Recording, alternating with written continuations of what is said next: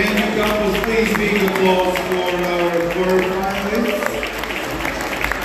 12 best couples will go